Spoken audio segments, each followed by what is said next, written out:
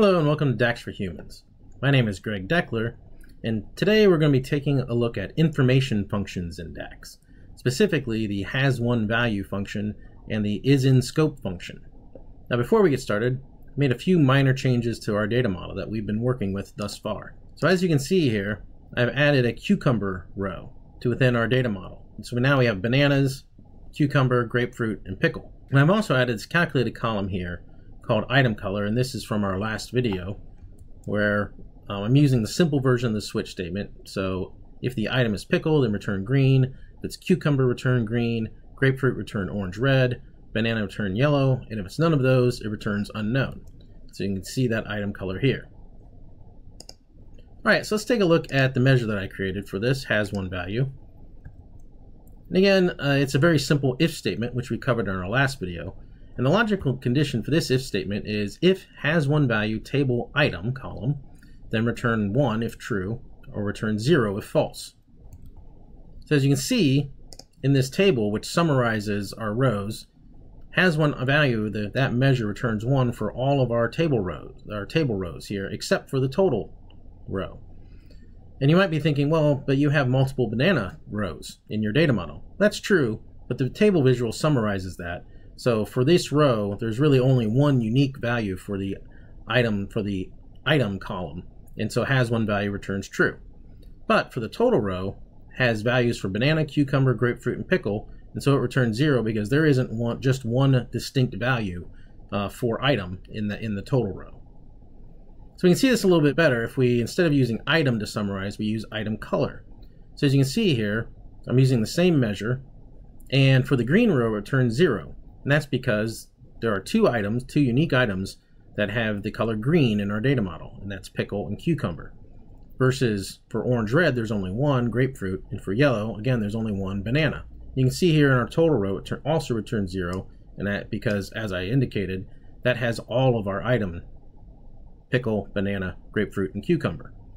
If you want to see how I constructed this measure here,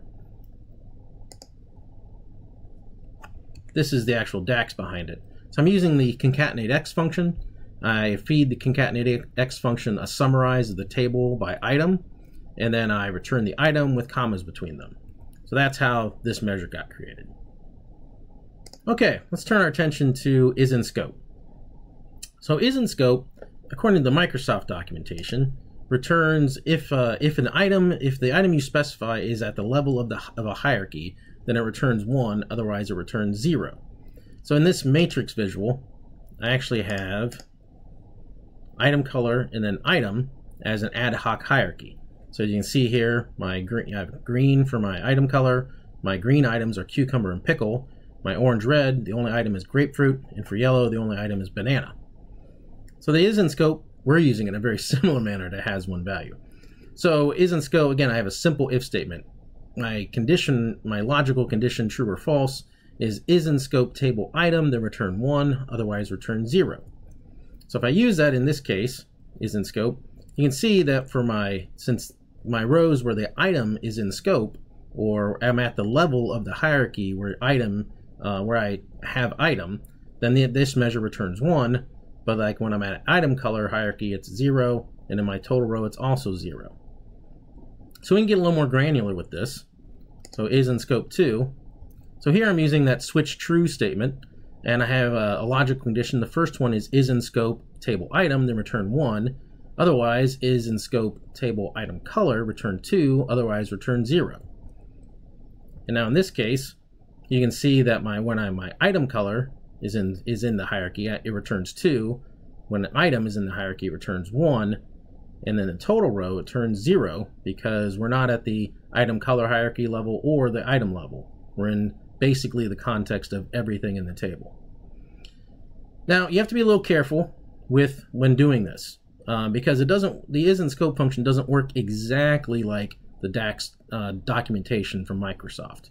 So for example, if I if I switch up my conditions where I say is in scope table item color return 2 Otherwise, is in scope table item return 1, otherwise return 0.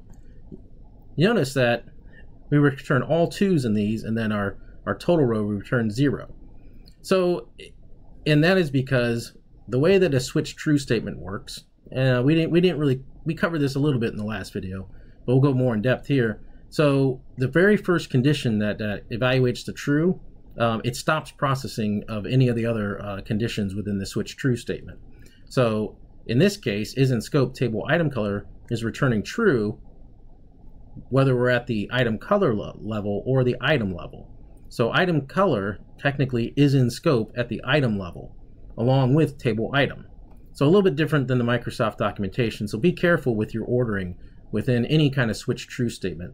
Um, you have to structure it so that in this case you would want to structure it so that the lowest level of your hierarchy is first, as we had in this version of the of the measure, where we have the lowest level of our hierarchy item is the first statement. So we want to evaluate that and then build your conditions up through your hierarchy.